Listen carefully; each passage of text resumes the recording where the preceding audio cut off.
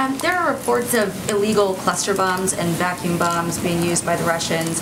Uh, if that's true, what is the next step of this administration, and is there a red line for how much violence uh, will be tolerated against civilians in this manner that's illegal and potentially a war crime?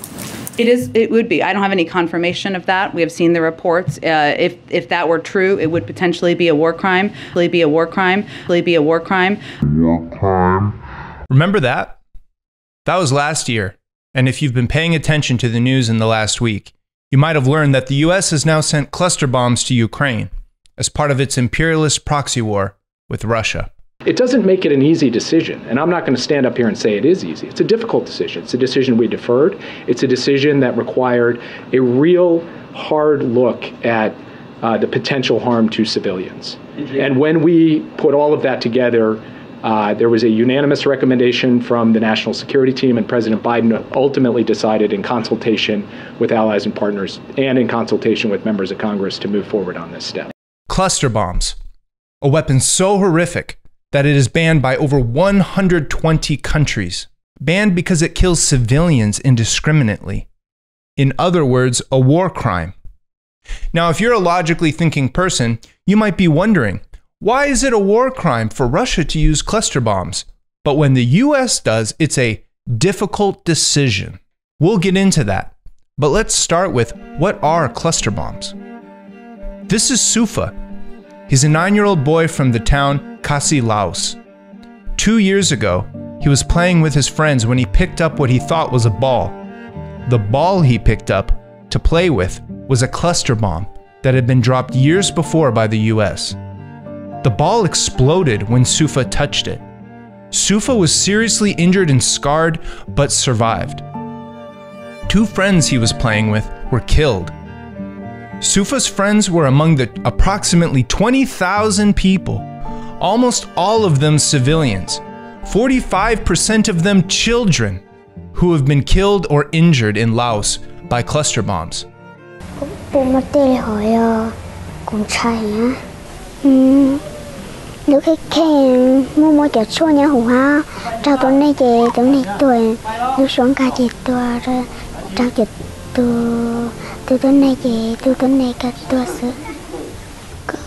Có tao gì trâu nên lắm ba lời chơi chỉ dạ chỉ đâu.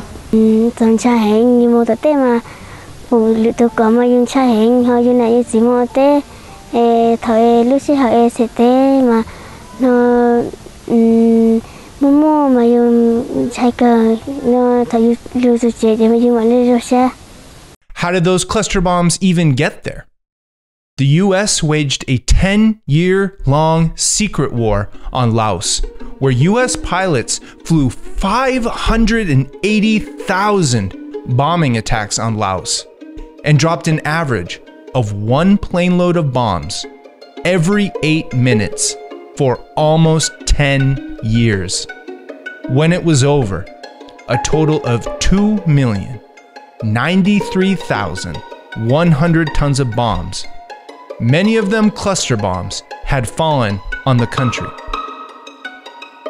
The bomb that killed Sufa's friends was one of the estimated 80 million unexploded cluster bombs still in Laos. Cluster bombs are forms of artillery and missiles that drop dozens or hundreds of small bomblets that fall over a wide area. When these bomblets explode, they are very likely to kill anything around. But often, they don't explode. According to the Red Cross, up to 40% fall to the ground without exploding and sit dormant for years and even decades, waiting to be picked up by a child like Sufa. Or like Ali, a little Iraqi boy, five years old in this picture, being held by his mother Mona. This picture was taken in a hospital in Baghdad on April 17, 2003, one month after the US invaded. Ali and his four brothers were wounded by an unexploded cluster bomb they found in the garden of their home, a gift from the USA. This Iraqi boy is named Hamza. He's six years old in this photo. Here, his father is delicately changing his bandages.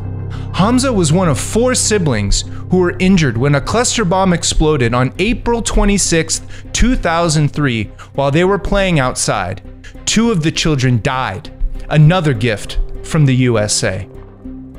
The US has dropped cluster bombs on Cambodia, Laos, Vietnam, Grenada, Libya, Iran, Iraq, Bosnia and Herzegovina, Serbia, Montenegro, Kosovo, Afghanistan, Iraq, and Yemen.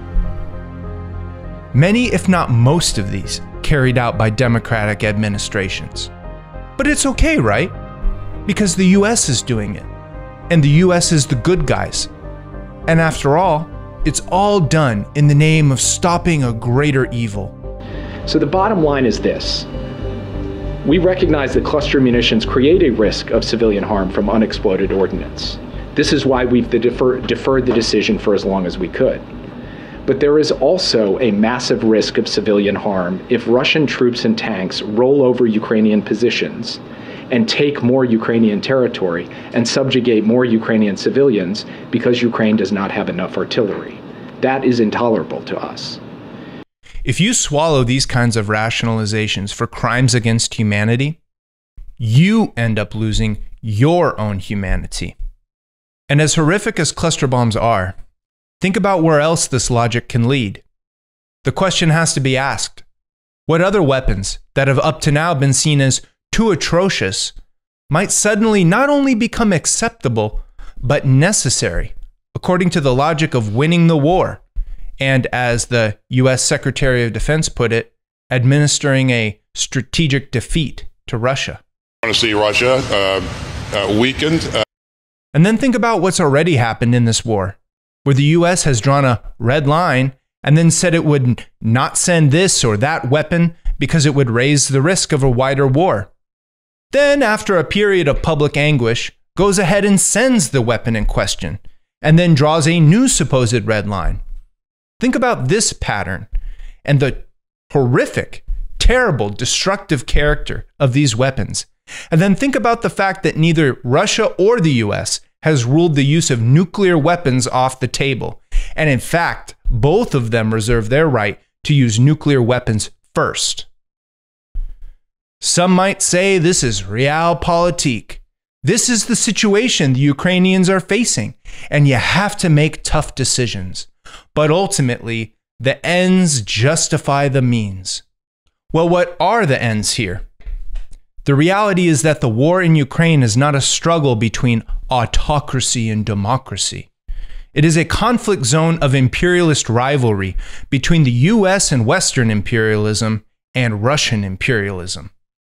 The Ukrainian people and Ukrainian army are cannon fodder in this war, being used cold bloodedly to advance U.S. imperialist interests in contention with their Russian rivals. And now, little Ukrainian children will be cannon fodder for generations to come.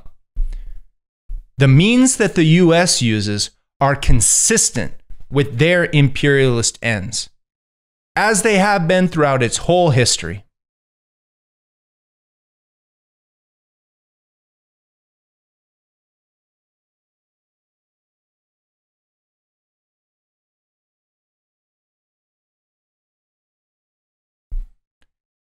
In stark opposition to that. When this system is finally defeated through a revolutionary struggle of millions, its institutions and armed forces abolished and replaced with new revolutionary institutions, aiming to overcome all forms of oppression and exploitation and guided by the Constitution for the new Socialist Republic in North America.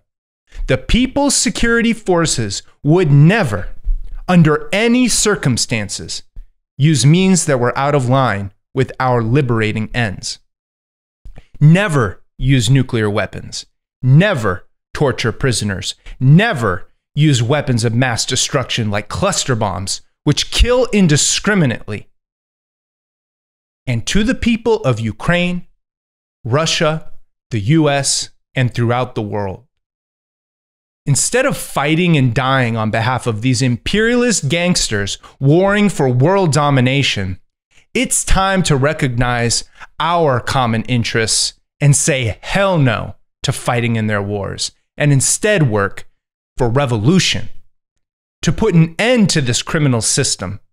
A system that causes endless wars, commits one war crime after another, and is holding humanity hostage with the threat of nuclear war and climate catastrophe. And a special wake up call to the people in this country who are allowing their government to literally maim and murder children for decades to come. Just because this is a continent away does not mean it's okay to ignore this, or worse yet, give your support to what your government is doing.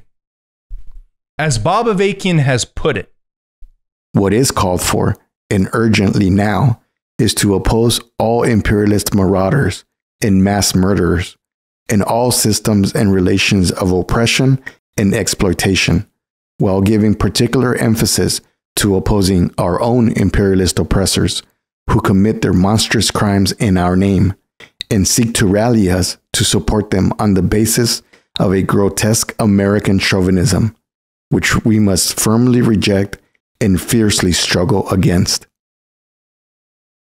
No U.S. NATO war with Russia.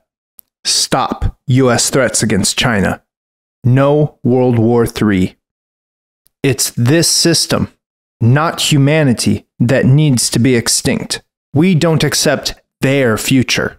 It's time to get organized for a real revolution.